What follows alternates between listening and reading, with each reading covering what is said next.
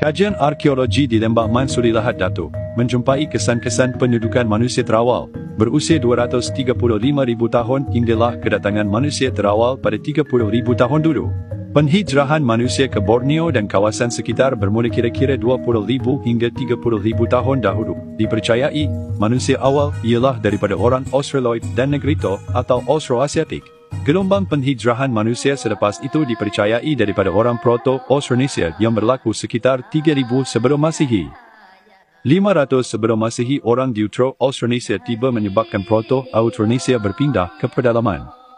Austronesia ialah leluhur kepada penduduk peribumi Sabah dan kepulauan sekitar Sabah. Austronesia membawa budaya dan bahasa Austronesia ke Borneo dan juga menyebar ke barat dan selatan.